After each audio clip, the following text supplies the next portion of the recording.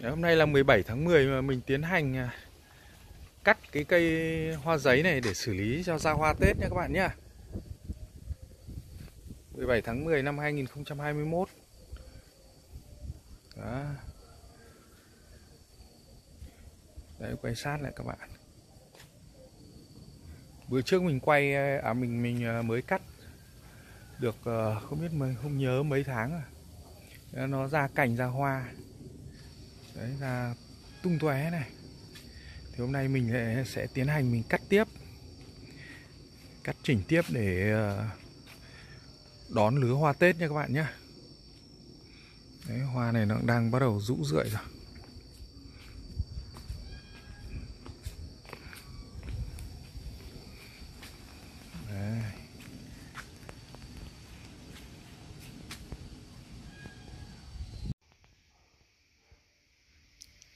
Hôm nay là ngày 17 tháng 10 các bạn nhé.